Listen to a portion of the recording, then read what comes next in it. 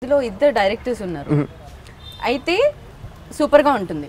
Coordination బాగుండాలి first of all.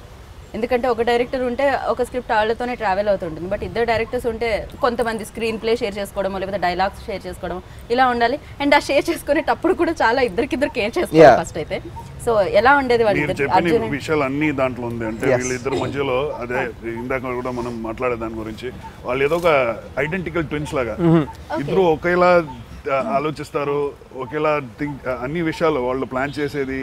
ఒకసారి కూడా మనం ఏదో ఒక ఈగో క్లాష్ రావడం లేదా ఇది సరిలేదు ఇలా చేద్దాం అలా చేద్దాం అని వాళ్ళ మధ్యలో ఏదో ఫ్రిక్షన్ ఏం కాదు. వాళ్ళంతా ఒక కోఆపరేట్ చేసి వాళ్ళు చేస్తున్నారు అంటే it's almost like they are identical twins. అలా అనిపించింది మనకి. రైట్. సో అలా ఉండడానికి కారణం ఏంటంటే? ఫస్ట్ వాళ్ళు బెస్ట్ ఫ్రెండ్స్ అండి for long long okay okay.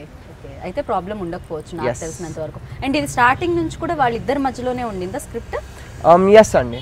Okay so script ఎప్పుడు రావడం జరిగింది? మీ దగ్గరికి వచ్చిందా ఫస్ట్ మామ్ దగ్గరికి వచ్చిందా? సో నాకు ఈ స్క్రిప్ట్ సో మై ఫ్రెండ్ అండి my one of my best friend and his father and ఆ ప్రొడ్యూసర్ గారు వాళ్ళిద్దరూ బెస్ట్ ఫ్రెండ్స్ అండి. ఓకే సో ఆయన వచ్చి ఆ, మా ఫ్రెండ్కి చెప్పాను అనమాట ఇట్లా ఒక కొత్త సినిమా స్టార్ట్ చేస్తున్నాను న్యూ ఫేస్ ఏదైనా కావాలంటే తను నా పిక్చర్స్ పంపించడం జరిగింది.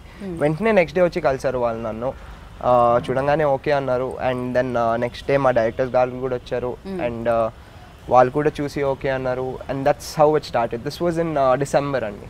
Okay. Mid Dec December starting టైంలో ఓకే. సో అలా డిసెంబర్ మొత్తం స్క్రిప్ట్ డిస్కషన్ జరిగింది. ఆ ట్యూన్స్ ఫైనలైజ్ అవ్వడము. అండ్ నేను కూడా ఒక వన్ మంత్ తేజ గారి దగ్గరికి వెళ్ళాను. తేజ గారు అని మన బాహుబలిలో చేశారు ఆయన ట్రాన్స్లేటర్ లెక్క. So he he's into theatre అనమాట.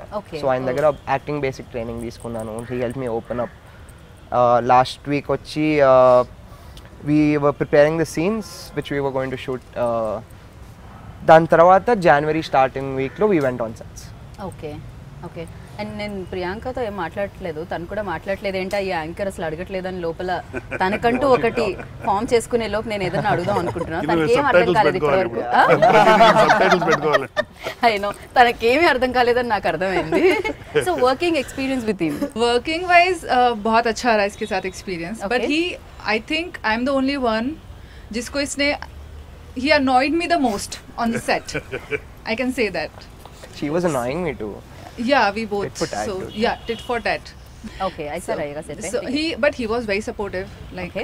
as i didn't know the మీరు ఊ అంటారేమిటి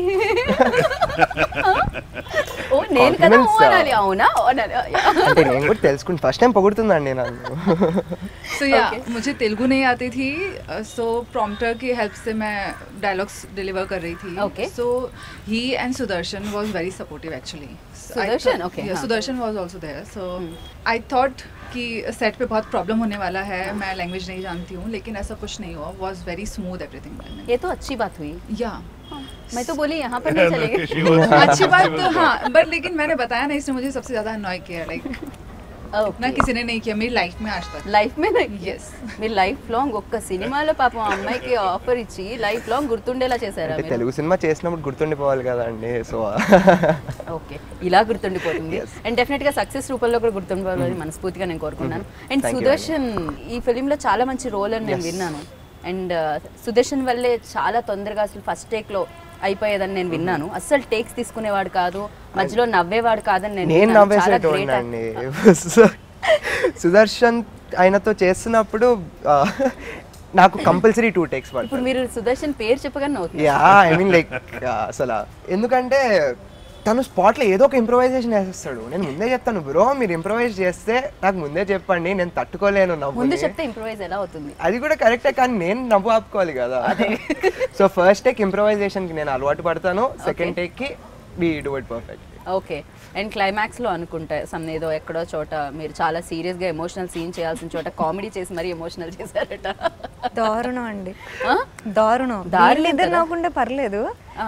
ఎదురున్న ఇద్దరిని కూడా అంటే పెద్ద పెద్ద పెద్ద అప్పటికప్పుడు ఏదో ఒక స్పాంటేనిటీ ఉంటుందండి. ఏదో ఒక చెత్త డైలాగ్ వేస్తారు okay point be noted okay so దానివల్ల మీరు కూడా డిస్టర్బ్ అయ్యేవారు.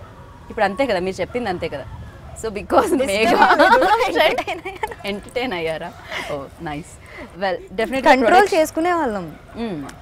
చాలా సార్లు త్రీ ఫోర్ టేక్స్ అయింది. డెఫినెట్లీ చాలా నవ్వు వచ్చేసేది.